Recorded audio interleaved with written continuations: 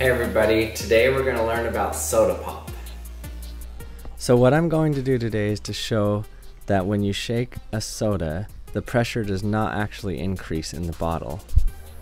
I'm also going to teach a little bit about equilibrium and why the pressure doesn't actually increase when you shake it. In addition, I'm going to show if the pressure doesn't increase, then why does your soda still explode when you open it? So in order to test this, I'm going to finagle up a measuring system where I can measure the pressure inside of the soda. So here I have an inner tube and I'm going to cut this out and put it inside of the lid and tighten the lid back down. Okay, I've cut the inner tube out and put it inside the lid here. Let's see if it holds the pressure now.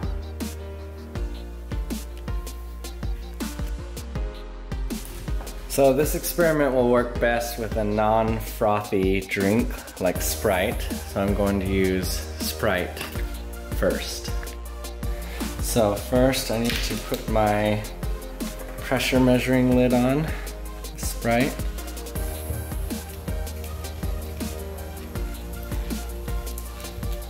Now since I opened it and released the pressure, I'm gonna give it a good shake again. Uh, this will release some of the CO2 from the liquid into the headspace up here and repressurize it. I'm gonna let it sit there for a few minutes. Okay, it's now at equilibrium. I've had to wait all night, so let's measure the pressure and see what it is.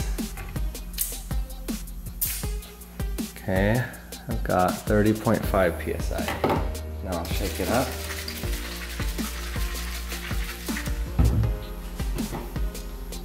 Get. 30.5 psi. Shake all we want. See all the bubbles. 30 psi.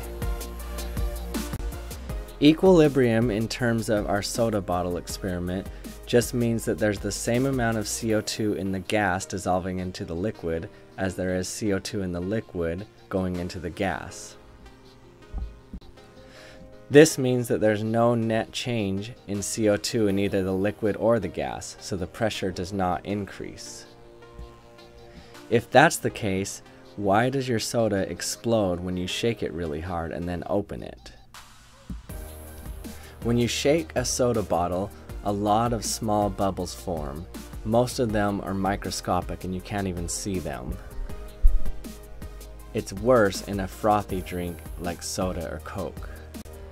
These bubbles stay small under the pressure of the soda bottle. However, when you release the pressure, those small bubbles suddenly become large bubbles as the volume expands due to the decreased pressure in the headspace. The large bubbles expand, pushing the liquid out the top. If it's a very frothy drink, then it pushes a lot of liquid out, and it ends up spraying all over the place. If you're going to try an experiment similar to this, or try shaking your soda up, here's something you need to remember. Remember that the pressure will not increase only if the system is at equilibrium.